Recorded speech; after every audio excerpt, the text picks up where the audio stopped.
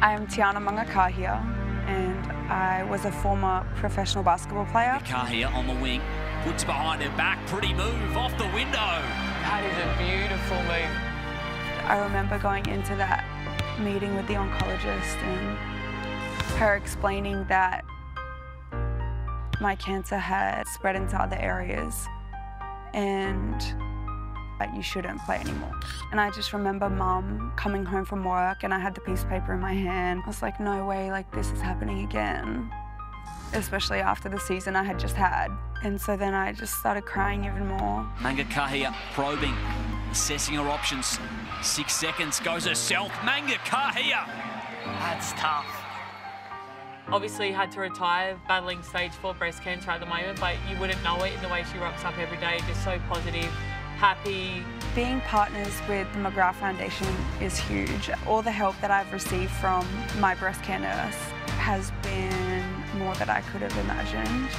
That's why the McGrath Foundation initiative to have 250 breast care nurses by 2025 is so important.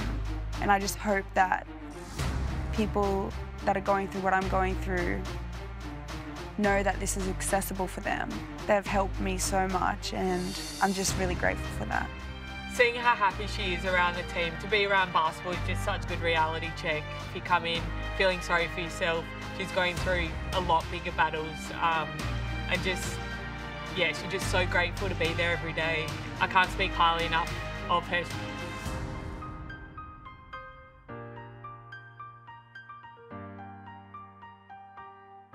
It's heartbreaking, isn't it, to hear Tiana Mangakahia describe herself as a former professional basketball player at her age where she should just be coming into her prime and just lit up the WNBL in the time that we got to see her and uh, just heartbreaking to know that she's now battling breast cancer once again. It's year two of a fantastic initiative from the Sydney Flames, their second pink hoops game. Last year it raised more than $20,000 for the McGrath Foundation and Candy Hertz this year they've taken it to another level.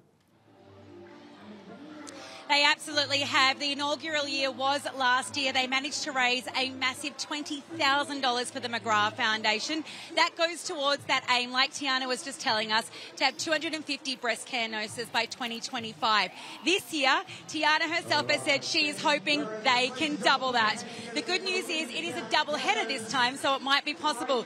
Pink Hoops double header is happening this Sunday. The whole Hoops Capital family are involved. So that's the Sydney Flames and the Sydney Kings.